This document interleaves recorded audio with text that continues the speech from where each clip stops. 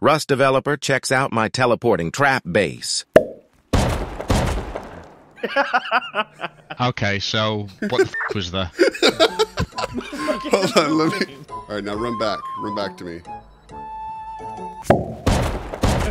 Can you set it up again? Yeah, yeah. And let me show someone. Who is it? Who's coming? The guy responsible for the cars.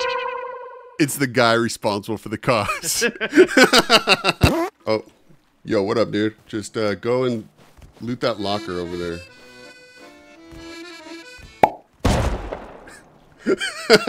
he said, "Thanks for reporting this and not exploding it forever." okay, how many how many more days do I got with this bad boy? It'll be fixed, fixed tonight. Tonight? So we're freaking out because they're trying to fix it. So we have like maybe a day to record.